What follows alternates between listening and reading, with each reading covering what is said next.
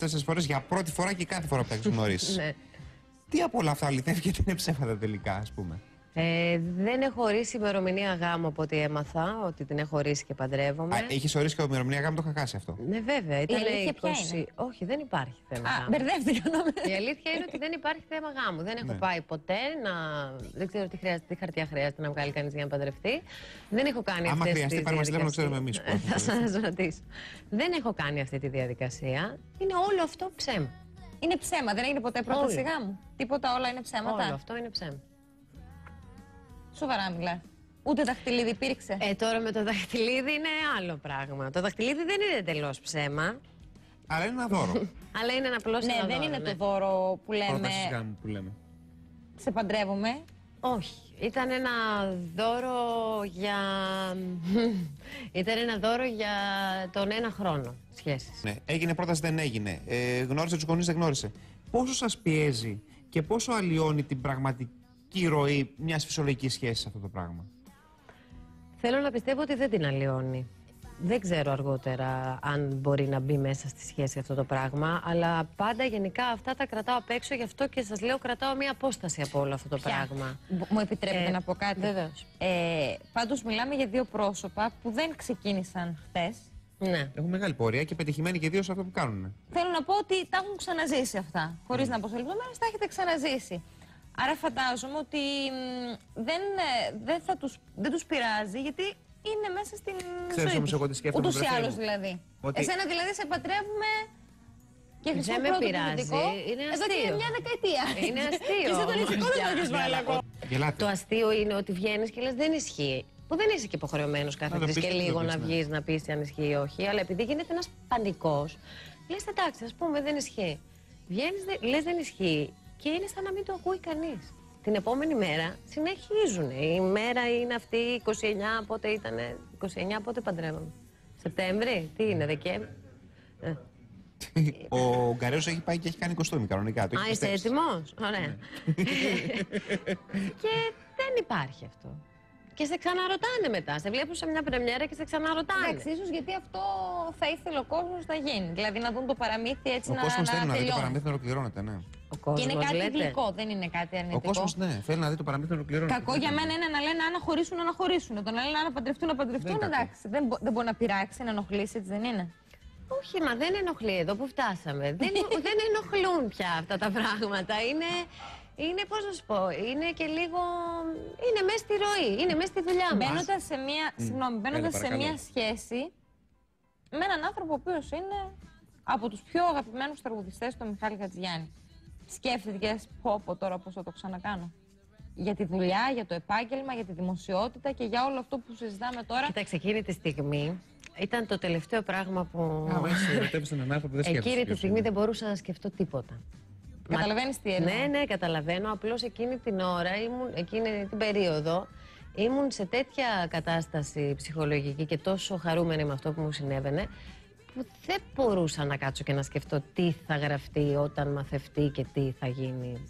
Δεν με ενδιαφέρε. Ήταν και ραυνοβόλος, ήρθε στην πορεία γιατί ήταν ένας άνθρωπος που τον ήξερες την ύπαρξη του. Δεν είναι ένας άνθρωπος που γνώρισες ξαφνικά. Ναι, Ούτως όχι. ή άλλως τα Ήταν... πλάνα σε, εκείνα τα, Ήταν τα, σε ξαφνικό. εκείνο το μαγαζί τα έχουμε δει από Ναι, τις όχι, το- ήταν η αλλαγή του ξαφνικό και συναισθημάτων. γι' αυτό ήταν και τόσο έντονο. Ήταν Γιατί ξαφνικό. είμαστε δύο άνθρωποι που έχουμε συναντηθεί Σωστά, στο ναι. χώρο εδώ και τόσα χρόνια και δεν είχε περάσει από το μυαλό κάποιου. Καθόλου.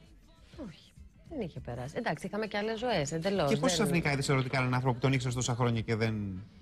Έλαντε, και εγώ δεν το κατάλαβα. Γι' Ναι. αυτό σου λέω μου ήρθε ξαφνικό όλο αυτό. Οπότε δεν μπορούσα να σκεφτώ κάτι άλλο. Έντονο εξαιτίας αυτού του γεγονότος. Έντονο είναι από τη φύση του, γιατί είμαστε και οι δύο άνθρωποι με, και δύσκολοι πολύ και έντονοι χαρακτήρες πολύ.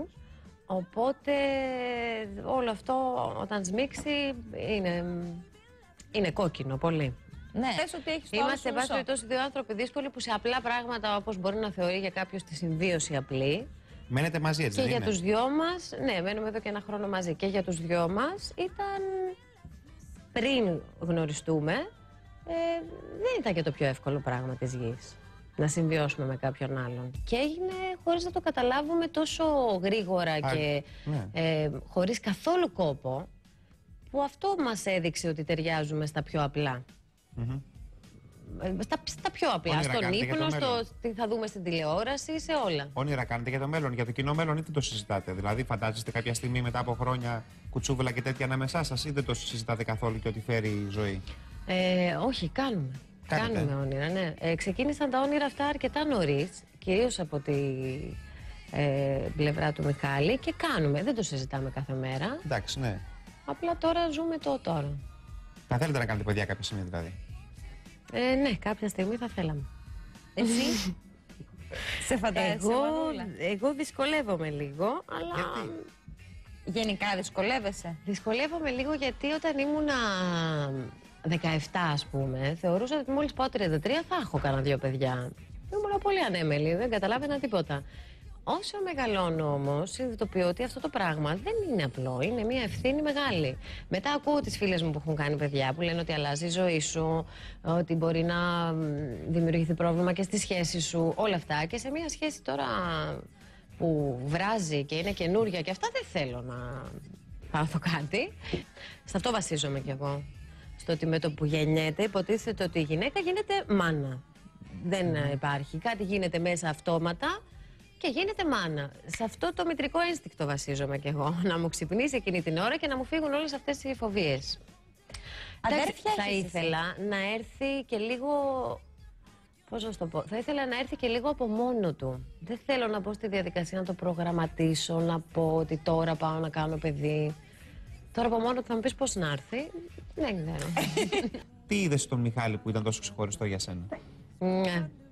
Ε, Βλέπεις ότι λίγο μαζεύομαι. Και εγώ μαζεύομαι που το ρωτάω όμως. Ξέρεις γιατί μαζεύομαι όμως. Αν θες να απαντάς, Ρosetta, δεν είναι, δηλαδή. δεν έχω πρόβλημα να απαντήσω και να μοιραστώ τη χαρά μου. Πράγμα που το έκανα και στην αρχή. Απλά μετά, επειδή σχολιάζεται και η τελεία, ε, ασυνείδητα μου έχει μπει στο πρόσεξε, μην πεις αυτό, γιατί μετά θα πούνε αυτό και αυτό. Προσπαθώ να το κάνω λοιπόν delete και να κάνω μια normal συνέντευξη όπως κάνει όλος Ναι. ο κόσμος. Γιατί όλοι μιλάνε για κάποια πράγματα σημαντικά στη ζωή τους. Αυτό που με εγωίτευσε αρχικά ήταν ο τρόπος που με διεκδίκησε.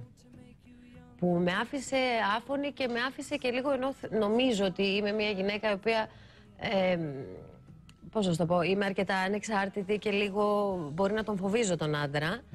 Ε, ούτε που κατάλαβα από πού μου ήρθε.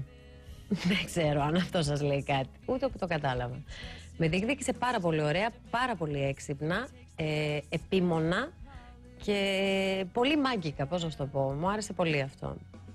Μετά όταν αποφασίσαμε πάρα πολύ γρήγορα να μείνουμε μαζί, Δηλαδή; στις δύο εβδομάδες να ήταν, για να μην πω μία. Έλα τώρα, δύο εβδομάδες. ναι, απλά δεν έγινε κανονικά. Έγινε, έμενα πολύ συχνά εκεί και πήγαινα ερχόμουν με Λογόμουν. βαλιτσούλα. αλλά μ, ναι, έμενα πολύ συχνά. Δηλαδή από τη δεύτερη εβδομάδα και μετά νομίζω μέναμε μαζί.